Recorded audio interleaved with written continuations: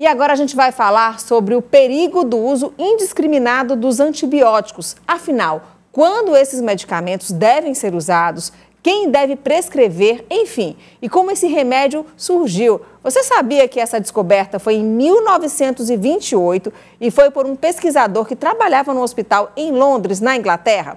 O médico infectologista Nairo Ferreira vai nos trazer mais informações sobre o assunto. O primeiro antibiótico a ser descoberto foi na década ah, dos anos 20, especificamente 1928.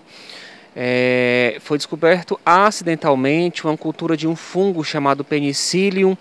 É, Observou-se que desse, desse fungo crescia-se a, a inibição de bactérias. E aí o pesquisador acidentalmente descobriu o primeiro antibiótico, que é a penicilina.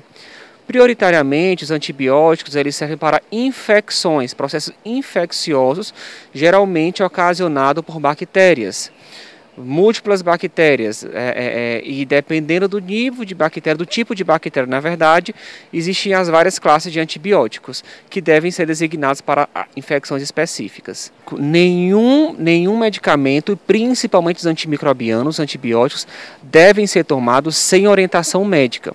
Só quem consegue dizer, quem consegue é, prescrever um antibiótico direcionado para aquela infecção é, específica é o médico e principalmente o médico especialista, que é o infectologista.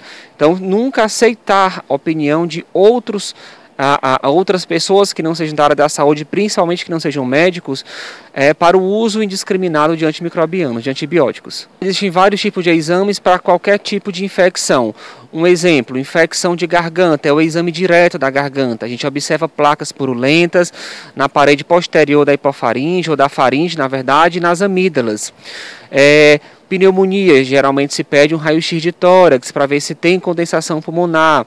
Ou outras infecções, tipo corrente sanguínea, muitas vezes são diagnosticadas com hemograma ou com exames de culturas para a, a identificação da bactéria específica que está ocasionando aquele processo infeccioso.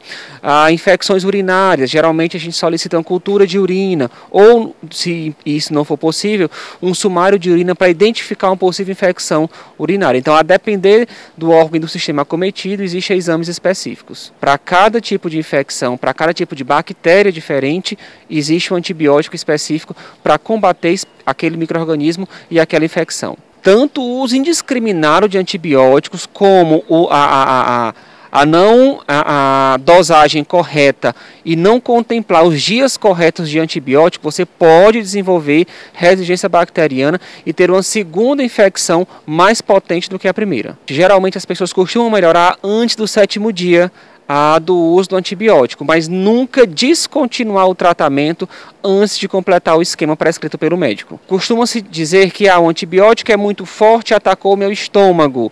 É, procurar horários diferentes para tomar um antibiótico, procurar orientação médica para iniciar um protetor gástrico antes de iniciar um antibiótico e não deixar de completar o esquema antimicrobiano de forma alguma. E o Vida Saudável também ouviu uma farmacêutica sobre o assunto.